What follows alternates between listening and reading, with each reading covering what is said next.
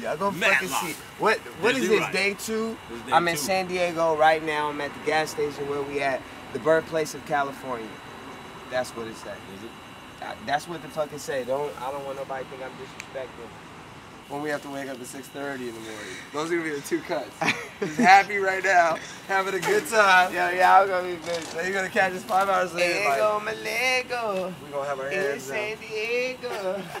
There go my Lego. Lego. Yellow Marcello. Hey, the, the, hey, the gas station lady liked us. She liked me and me and Hoppa. She she said I was cute. She kept looking at Hoppa though, so I don't know. I think she got things for Asians. She's like, yeah, that rapper guy, yeah. I was like, yeah, bitch, that's me, Jam motherfucking bitten, ho.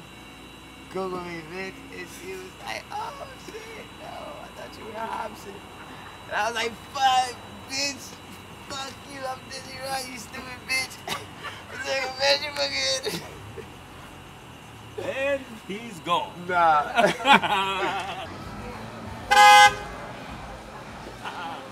Everybody over again.